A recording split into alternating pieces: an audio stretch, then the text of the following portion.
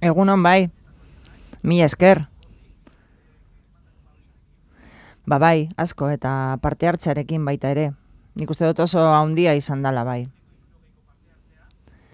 Bueno, irurogeita mar. Bai.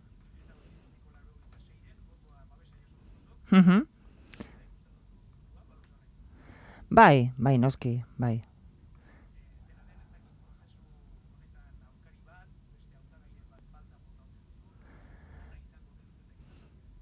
Bueno, eh, hori ez dozu inoiz jakingo, ez? Baina egia da, ba, bueno, tentzio gutxiago egon dela, eta, eta hori baita ere nabari izan dela, ez?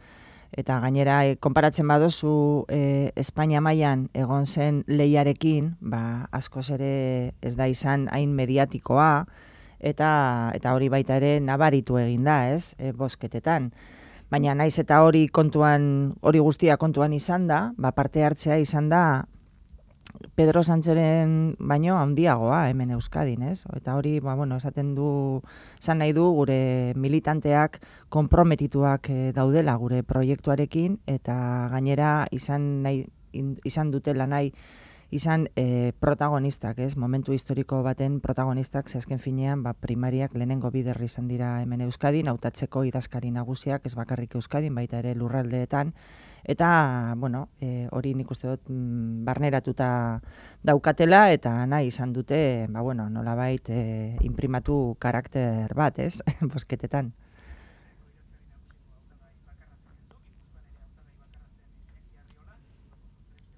Bai.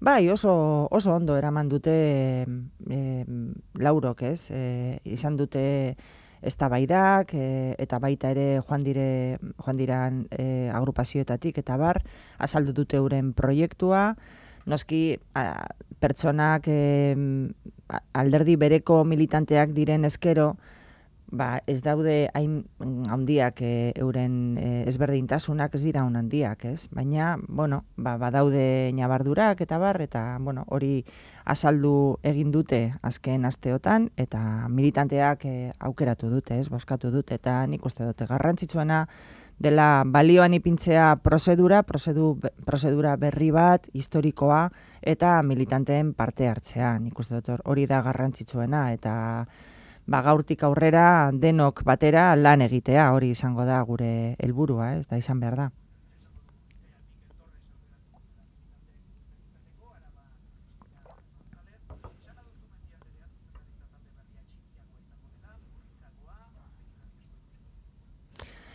Bueno, e, murri, murriztuagoa bai, e, eta zergaitik nahi dut hori horrela izan, ba, bakoitzak e, lan bat eta tarea bat euki beharko duelako, ez? Niretzat oso garrantzitsua da garai hauetan e, azaltzea ez bakarri gure militanteen artean, baita ere nik uste dut politika mailan hiritarrei begiratuta politikoek azaldu beharko genukela zer egiten dugun erakundeetan, ez? Hori oso oso garrantzitsua da eta nik uste dut hori da e, hiritarren e, eskaera argi bat gardentasuna eta eta kontu ematea, ez?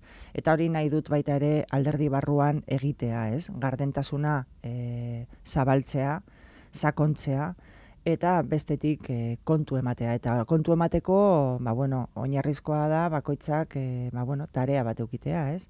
Eta hortarako e, idazkariak e, izango dira eta ez e, bokaliak eta bestetik laburragoa izan behar da. Nik uste dute momentu zaiak dira guretzat alderdi sozialistentzako, sozialistenentzako eta behar dugu lan egin lehenengo momentutik eta problema zehatzei buruz, ez? Eta horretarako ba bilerak oso operatiboak izan beharko dira eta hortan e, egongo naiz e, datorren egunotan e, pertsonekin hitz egiten, proposamenak egiten eta ba, bueno, taldea osatzen.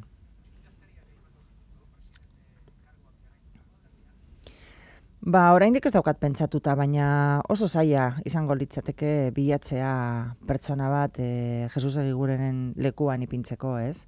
Orduan, ba, bueno, pentsatuko dut.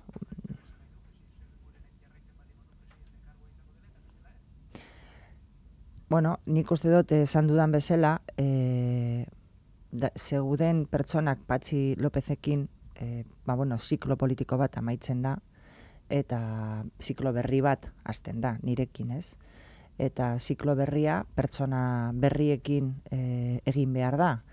Eta zentsu horretatik, ba, bueno, pertsona aurpegi berriak egongo dira, eta ez hain berriak, baina bai bigarren maila batean egon direnak, eta orain lehenengo mailara pasatuko direnak, Eta bestetik, ba, presidentzia egotea edo ez egotea ez da hain beharrezkoa, ez? Eta ba, batzutan leku batzuetan dago eta beste batzuetan ez dago eta ez da pasatzen ezer, ez? Eta esan dudan bezala nik nahi dut operatibidadea eta bakoitzak e, lan bat edukitzea, ez?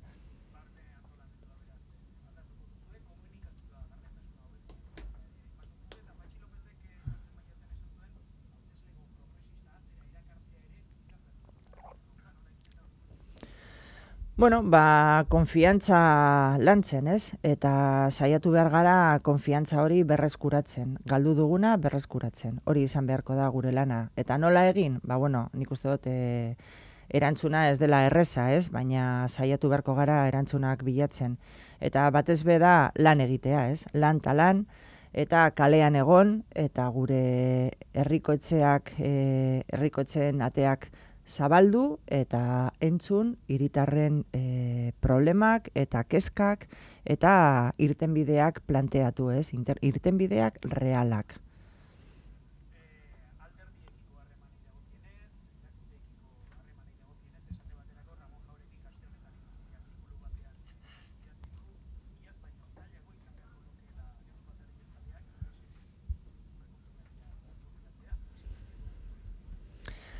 Bueno, e, ikusi duguna da alderdi jeltzalea ez dela oso fidagarria, ez? Akordioak e, sinatzen duzunean eurekin.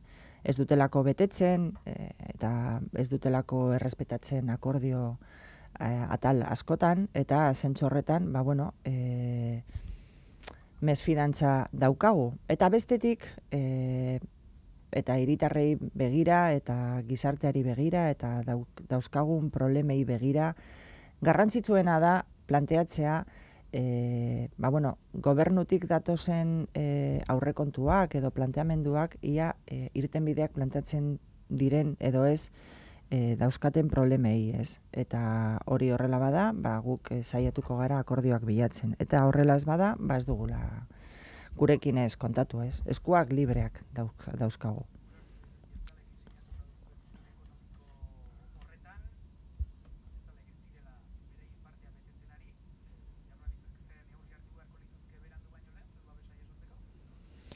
Bueno, jaurlaritzak e, badaki zer egin behar du, ez? Bete, akordioa. Eta bete e, guk e, han e, ipinitako lerro ekonomikoak eta enplegu planak eta hori guztia, ez? Eta inbertsio estrategikoak baita ere martxan ipini, hori guztia egin beharko da.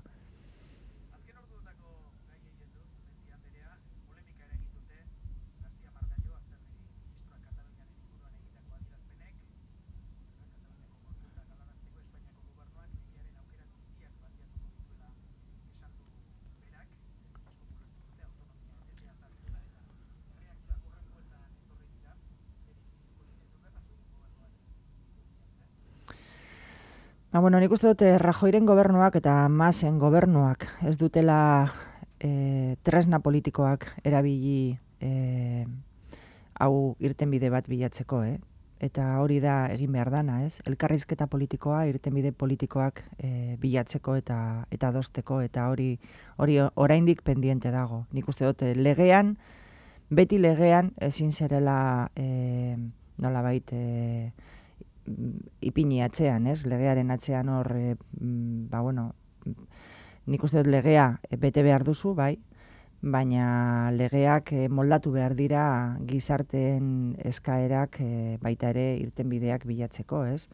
Eta zentzorretan nik uste dut e, dialogo politiko falta egon dela, bi gobernuen artean, eta baita ere borondatea, ez? Nik uste dut rajoi oso eroso dago posizio horretan, eta baita ere maz e, jaunak, oso eroso dago konfrontazioan, ez? Eta azkenean galtzen duena beti da herria, ez? Kataluniako herria kasu honetan galduko du. Ze saka banatuta amaituko amaituko du ibilbide hau eta hori ez da ona inorentzat.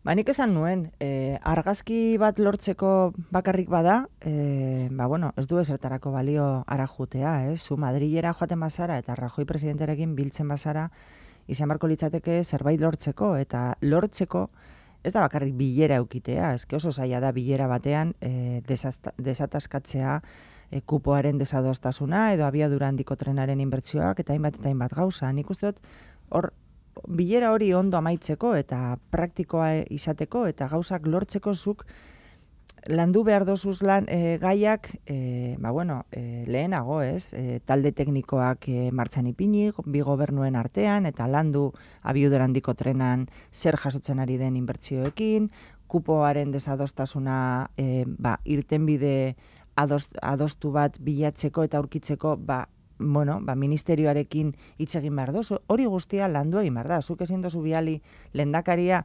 lendakariari argazki bat bakarrik egiteko. Hombre, behar bada hori da nahi dutena, bakarrik argazki bat lortzea eta e, aparientzia egitea, ari garela egiten pilo gauza eta benetan ez, ez dute ezer egiten, ez? Behar bada hori da PNV-ren eta Eusko Jaurlaritzaren helburu bakarra argazkiak egitea eta leian ibiltzea maz jaunarekin. Baina nik e, uste dut e, Euskadiren gauzak eta problemak eta propos, eta arazoak e, oso garrantzitsua direla eta ezin duzula ba, bueno, frivolizatu gai hoiekin ez.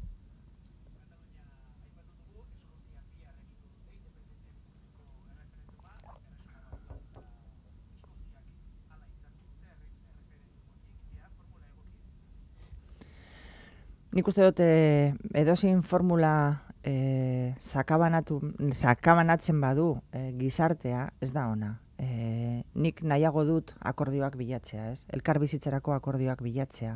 Ezberdinen artean, alderdi ezberdinen artean, sensibilidade ezberdinen artean, eta akordio hori refrendatzea, ez? E, gizartearen aldetik. Hori da, nik uste dut e, oberena, ez? Gure, gure herriarentzat eta hango jendearentzat ere bai.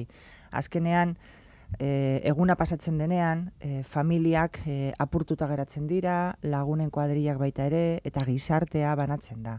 Eta hori, e, nik uste dut, politikoen helburua ezin dela izan e, sakabanatzea ez.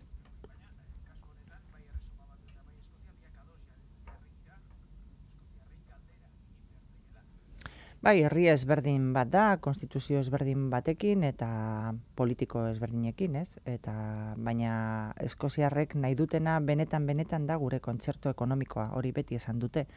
Eta hori da e, e, hori izan zen euren asmoa eta euren helburua. Londres ez zuen nahi eta bueno, kontsulta planteatu zen.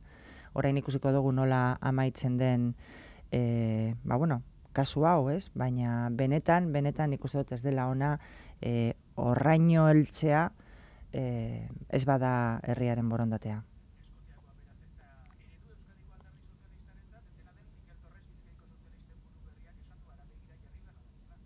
Bueno, ba, Mikelen iritzia izango da.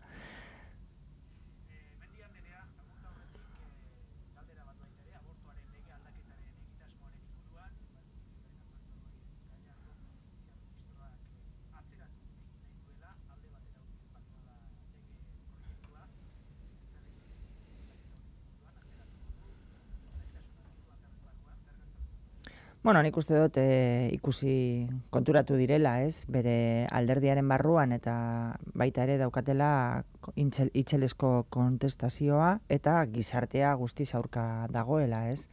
Benetan oso ministro txarra izaten ari da Espainiarentzat, justiziarentzat, privatizazio itxelak ari du egiten e, justizian eta abortuaren legea ba, emakumeen e, eskubideak murriztuak ikusiko litzateke aurrera eramaten badu proiektua, baina bueno, az, agian ez du egingo, ez? Orduan nire nire ikuspuntutik ba posa hori konfirmatzen bada, ez? Baina benetan oso gobernu desastre desastrosoa izaten da, izan da eta ministro oso txarra e, gure herriarentzat.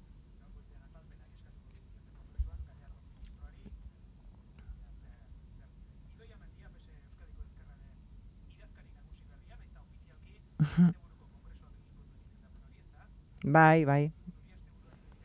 Bueno, ba, purtsu bet bai.